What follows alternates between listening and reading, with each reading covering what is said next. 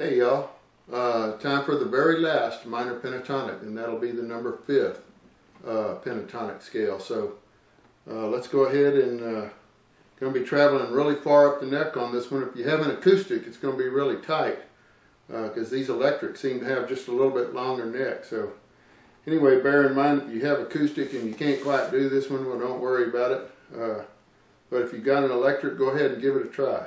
Now let's go ahead and get to it. Now we'll be looking at the last pentatonic, uh, the fifth minor pentatonic. It's going to uh, primarily be using uh, 12, 13, and 15.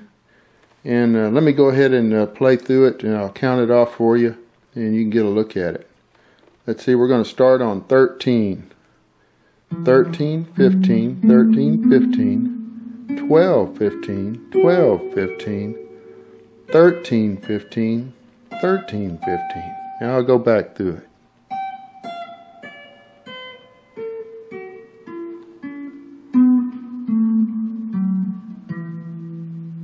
And there you have the last pentatonic, the number five minor pentatonic.